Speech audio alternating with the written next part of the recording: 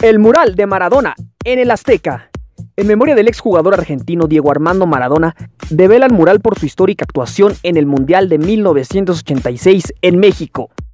El mural se destaca por el gol del siglo, convertido por el astro a los 25 años de edad, siendo además capitán de la selección de Argentina en los cuartos de final de la Copa del Mundo de México 86 ante Inglaterra el 22 de junio de 1986 en el Estadio Azteca.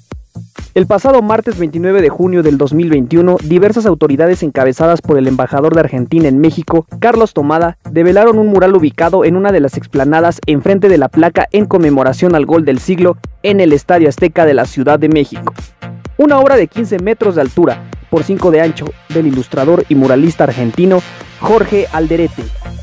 El gol del siglo, también conocido como el gol a los ingleses, el mejor gol del mundo, la jugada de todos los tiempos o el mejor gol en la historia de la Copa Mundial de Fútbol. Fue un premio al mejor gol marcado en un encuentro de finales de la Copa Mundial de Fútbol de la FIFA.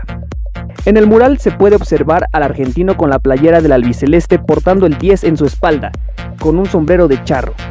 De la misma manera, otra imagen de él alzando la Copa del Mundo y abajo un escenario del gol a los ingleses.